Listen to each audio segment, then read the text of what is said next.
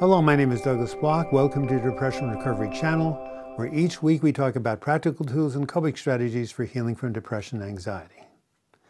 Today is Flashback Friday, a feature in which I republish one of my earlier videos you might not have seen that contains really important coping strategies that will help you attain a better mood.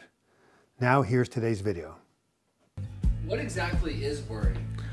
Well, Noah, worry is a, a kind of fear. It's a quality of fear, but it's not the kind of fear you would feel if you were walking in the woods and a bear jumped out on your path and you said, Oh my God, I better run or I'm going to get killed. You know, that fear of something in the moment. Worry is about a fear of something that has been imagined, something that has not happened, something that's in the future. Now, as human beings, we are given the blessing and the curse to be able to see into the future and look back into the past. Animals are like our dog in this room, right? He's just living in the eternal present, right? right. What me worry? He's a dog. What? Of course, he can't plan, he can't hope, he can't dream, right? But he can't worry also. So that's where worry comes from. It's an about an imagined fear uh, that has not happened. Okay. And is worry helpful?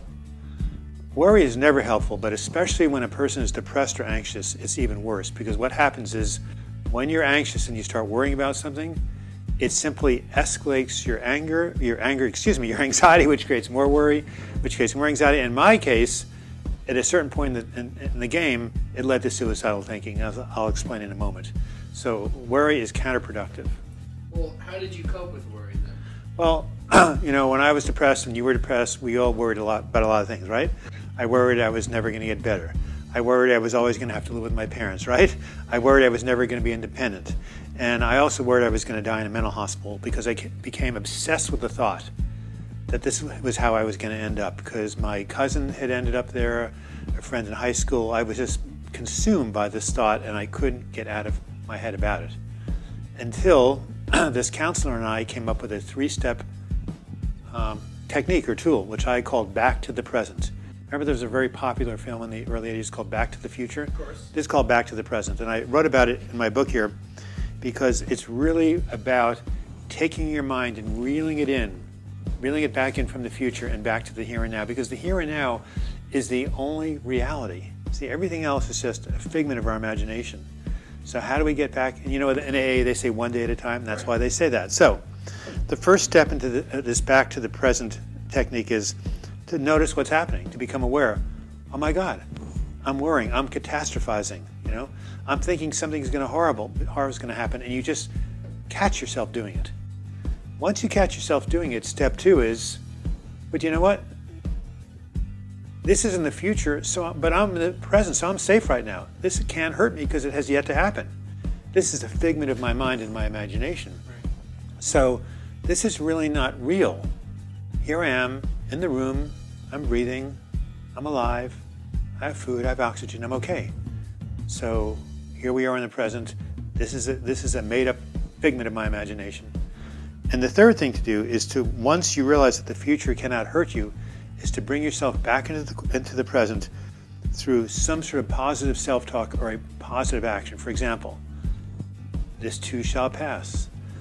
I've gotten out of these depressions before, I can get out again. Or turn your attention out of your mind, right, into an activity like go around the block and take a walk, call a friend, right? Um, turn on some music, distract yourself, you know.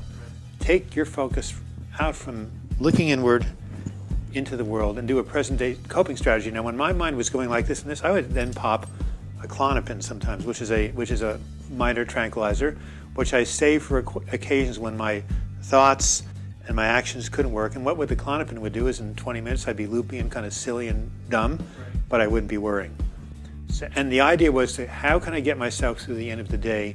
Because once I went to sleep, I knew that tomorrow was a new day and I could start all over again. So do something in the here and now that brings your focus back into the here and now and get out of the future. And anytime you catch yourself catastrophizing, anytime you start to find yourself worrying, notice what you're doing. Tell yourself this is the future, not the present, and do something in the here and now. So that's the technique that I used. So, Doug, are there any other techniques that you would recommend to the viewer for coping with worry?